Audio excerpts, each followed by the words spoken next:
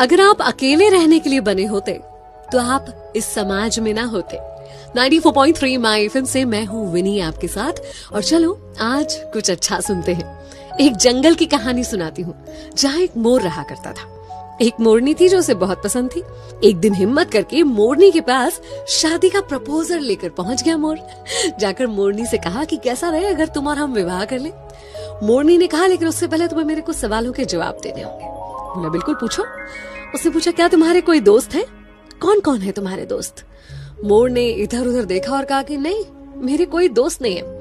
मुझे नहीं लगता कि मेरे जीवन में दोस्तों के लिए कोई जगह है। मैं तो अपना पूरा समय खुद को और अपने परिवार को देना चाहता हूँ। मोरनी ने तुरंत शादी से इनकार कर दिया। मोर सोचते सोचते वापस लौट रहा था कि क्या दोस्त होना इतना ज़रूरी होता है? क्योंकि उसकी बड़ी प्रबल इच्छा थी मोरनी से शादी करने की तो उसने तुरंत डिसाइड किया कि वो अपने लिए दोस्त बनाएगा। उसने एक शेर के साथ दोस्ती करी, एक कछुए के साथ दोस्ती करी और एक टिटहरी। टिटहरी वो जो शेर को उसके शिकार के बारे में बताती है, शेर को बुलाती है। इन तीनों से उसने दोस्ती कर ली और उसके बाद फिर से मोरनी के पास शादी का प्रपोजल लेकर पहुँचा। अब जब उसने मोरनी को बताया कि अब मेरे तीन दोस्त हैं तो मोरनी तुरंत शादी करने के लिए तैयार हो गए दोनों ने शादी की खुशी खुशी अपना जीवन जी रहे थे, एक पेड़ के ऊपर घोसला बनाकर रहने लगे और दोनों ने अंडे भी दिए। इतने में एक दिन जंगल में शिकारी आए। शिकारी अपने लिए शिकार ढूंढ रहे थे। जब उन्हें शिकार नहीं मिला, थक हार कर उसी पेड़ की छाओ में वो शिकारी बैठ गए। और उनके मन में विचार आने लगा, वो आपस में बातें करने लगे कि अब शिकार तो मिला नहीं है, लेकिन इस पेड़ पर बहुत सारे चिड़िया, मोर वगैरह वगैरह हैं तो क्यों ना उनके अंडे और बच्चों से ही अपना पेट भरा जाए? ये बातें सुनकर मोर और मोरनी बहुत घबरा गए। फिर क्या था? मोर तुरंत वहाँ से भागा अपने दोस्तों की मदद लेने के लिए। उसने टिटहरी को बताया। टिटहरी ने चिल्लाना शुरू कर दिया। शेर को पता चल गया आसपास कोई शिकार है।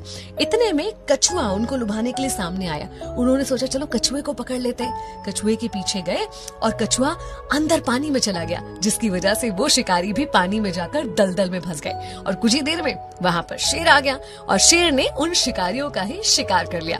और मोर मोरनी अपने बच्चों को और अंडों को बचा पाए। उस दिन मोर ने मोरनी से कहा कि आज मुझे समझ में आया कि तुमने शादी के पहले ये सवाल क्यों किया था। जीवन में दोस्तों का होना, सही दोस्तों का होना कितना ज़रूरी होता है। एक्चुअली हम एक समाज में रहते हैं। सब कुछ हम अकेले खुद ब खुद नहीं कर सकते।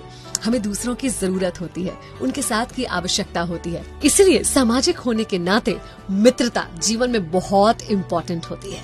आपके आसपास जो लोग हैं, कब कहाँ कैसे आपका साथ दे जाए, आपको संकट से निकाल के ले जाए तो हर किसी से अच्छा व्यवहार रखिए, खुद को मिलनसार बनाइए, अपने दोस्तों का दायरा और संख्या बढ़ाइए। अगर आपको भी ऐसा लगता है ना कि आपके जीवन में दोस्तों की जगह नहीं है तो एक बार दूध के गिलास के बारे में सोचिए।